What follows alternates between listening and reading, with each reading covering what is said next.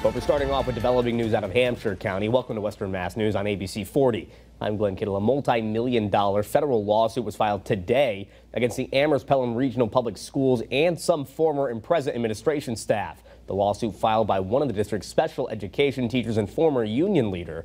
Western Mass News reporter Olivia Hickey joins us in studio with more. Olivia? Glenn Lamico McGee, who currently serves as the Dean of Students at Amherst Regional Middle School, filed the lawsuit. According to her attorney, this came after experiencing defamation and retaliation for advocating for marginalized students that experienced discrimination in the district, filing complaints and questioning unfair labor practices.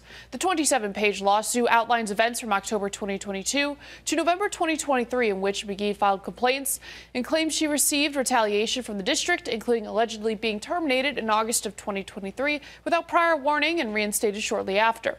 Another claim states she was placed in the role of Dean of Students in September 2023, but was allegedly denied the promotion to administrator. As for defamation, the lawsuit outlines one incident in which a former district official allegedly distributed flyers to attendees of an emergency school committee meeting in May of last year.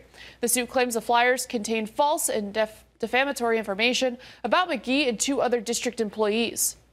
McGee's attorney shares a statement that reads, defaming educators who courageously advocate for marginalized students is not only immoral, it is illegal. This lawsuit was filed to hold accountable those who attempt to silence our educators with defamation other retaliatory tactics. We will fight relentlessly until justice prevails.